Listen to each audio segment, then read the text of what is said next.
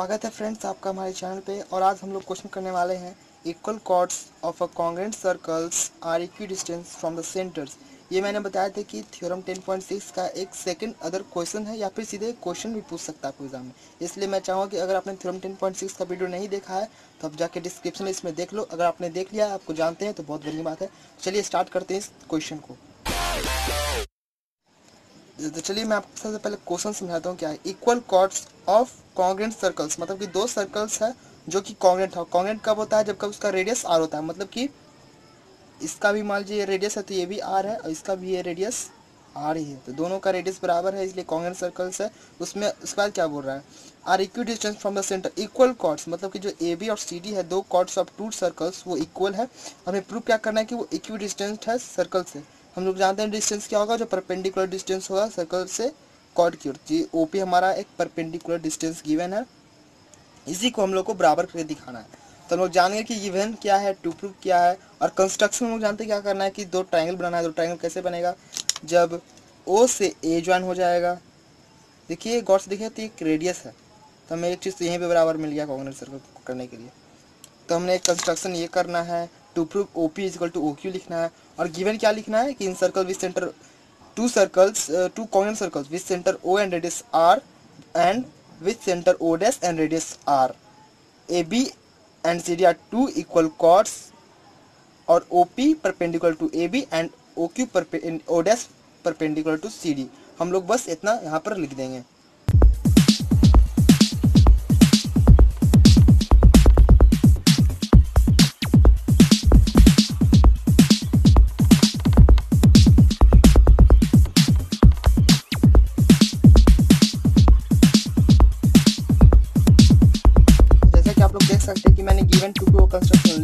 Given में क्या लिखा है? Two congruent circles with centre O and radius R and with centre O dash and radius R have equal chords A B and C D respectively जैसा कि आप लोग देख सकते हैं, वैसे ही मैंने इंग्लिश में कन्वर्ट कर दिया। आप लोग अपना स्टेटमेंट ज़रूर लिखिएगा। और ये अगर आपको लिखना है तो वीडियो को पॉज करके लिख सकते हो। और क्या लिखा है? O P perpendicular to A B and O Q O dash Q perpendicular C D अब हमें अब क्या प्रूव करना है? O P is equal to O dash Q ठीक है? Join O to A and O dash to to C चलिए हम लोगों ने जो जो बताया था वो लिख दिया आप सीधे प्रूफ में आते हैं। प्रूफ में हमें क्या करना है? तो प्रूफ करने से पहले हमें बस एक लाइन लिखना होगा कि as we know that we know that the perpendicular from center bisect the chord. ये एक थ्योरम 10.3 था। अगर आपको उसका वीडियो चाहिए तो भी वो डिस्क्रिप्शन में आपको मिल जाएगा।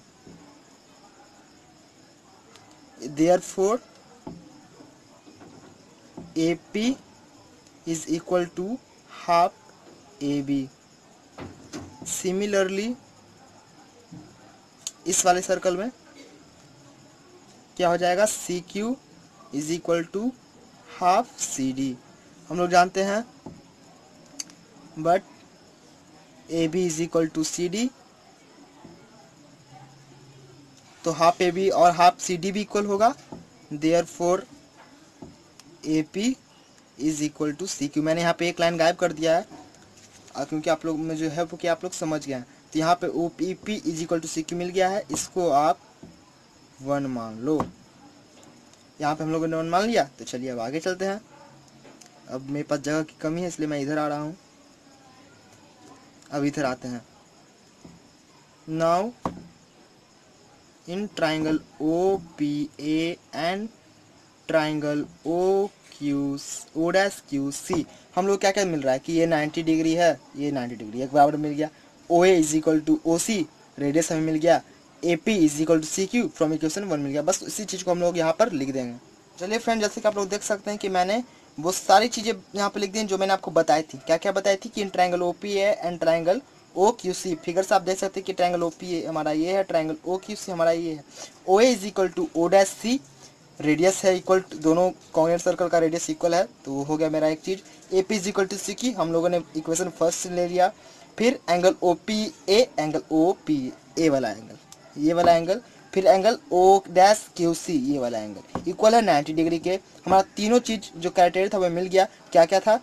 हाइपोटेनस था फिर एक अदर साइड था एक राइट एंगल था। तो इसलिए by R H S criteria दोनों ट्रायंगल कॉन्ग्रेंट हो गया और इसलिए हम जान, जानते हैं कि किसी भी दो ट्रायंगल के सारे पार्ट इक्वल होते हैं। तो by corresponding part of congruence triangle O P is equal to O dash Q हमारा ये यहाँ पर प्रूव हो गया है। तो हम इस वीडियो को आप ख़त्म करेंगे लेकिन ख़त्म करने से पहले मैं चाहूँगा कि अगर आपको ये वीडियो पसंद आया तो आपको जानते हैं कि आप लोग को लाइक करना है नहीं समझ में आया तो डिसलाइक करना लेकिन कमेंट में फीडबैक ज़रूर बता देना है, ताकि आने वाले वीडियोस उसी के अनुसार बने। और चैनल पे अगर आप नए हो तो सब्सक्राइब कर दीजिए, ऐसे ही रोचक क्वेश्चंस, थ्योरम्स के लिए और जीके से भी जुड़ी वीडियोस के लिए। Subscribe this channel for more videos